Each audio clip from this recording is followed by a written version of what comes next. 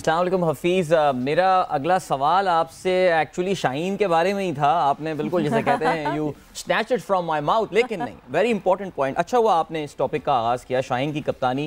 Because हम जब ये प्रोग्राम स्टार्ट कर रहे थे तो कह रहे थे कि one thing to look forward to in this P S L seven is कि शाहीन कैसी कैप्टनसी करते हैं। True. कुछ हमें शाहीन के कैप्टनसी के स्टाइल के बारे में बताइए। एक होता है ना कि खुद डिसीज़न ले रहे होते हैं या कोऑपरेटिव होते हैं मशवरा ले रहे होते हैं सबके साथ। हमने बड़े वेरिंग किस्म के स्टाइल्स देखे हैं कप्तानी के, बहुत अग्रेसिव से लेके बहुत ही मेलो किस्म के कप्तान। शाहीन कहाँ पे लाई करते हैं? देखें, बहुत इंपॉर्टेंट ये होता है कि आप अपनी रिस्पेक्ट अर्न करते हैं as a captain as a leader और Shaheen is one of those उसने अपनी परफॉर्मेंसेस से फ्रंट के ऊपर आता है परफॉर्म करता है प्रेशर लेता है। प्रेशर सिचुएशन में भागता नहीं है। तो I think all these boxes है जो है, उसकी तरफ़ से टिक हुए हैं।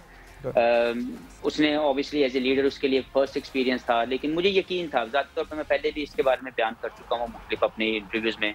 स्टार्ट ऑफ़ दिस पीएसएल से पहले मैंने ये बात की थी कि मुझे नहीं लगता कि कोई कमी होगी उसकी as a as a captain perform करने में।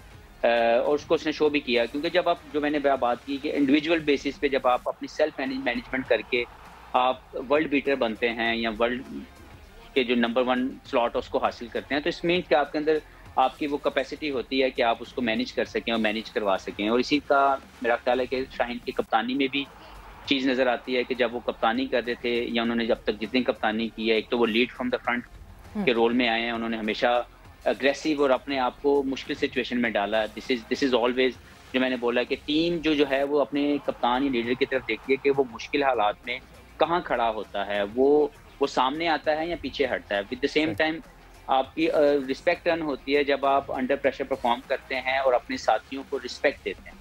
तो उसका एक ये बहुत अच्छी जो है उसके अंदर जो चीज़ है कि वो अपने साथियों को रिस्पेक्ट देता है अपने प्लेयर्स के टैलेंट को जो भी जो जो कर सकता है वो उसको बैक हम्म। करता है। वो कभी उससे से ज़्यादा डिमांड नहीं करता और कभी उससे कम की तो नहीं रखता।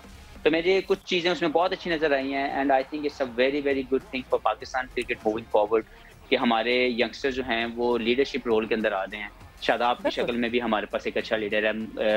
मेरा ख्याल है कि रिजवान से I am very impress with captaincy उसकी उसकी उसकी जो थॉट प्रोसेस है बहुत अच्छा है। तो ओवरऑल अगर मैं देखूँ कि पीएसएल के थ्रू हमें एक लीडरशिप का जो फुकदान नज़र आ रहा था हम्म। पाकिस्तान की क्रिकेट के अंदर वो मुझे लगता है कि उसको हिट किया गया है। पाकिस्तान के पाकिस्तान के जो ये लड़के जिन्होंने मजीद आगे पाँच पाँच दस दस पंद्रह साल ये खेल सकते हैं उन लोगों को सामने लेके आए हैं और उनकी उनकी लीडरशिप जो है वो सामने आएगी। और जितना ये खेलेंगे they will learn and I think Shaheen at the moment is doing a great job for the Lahore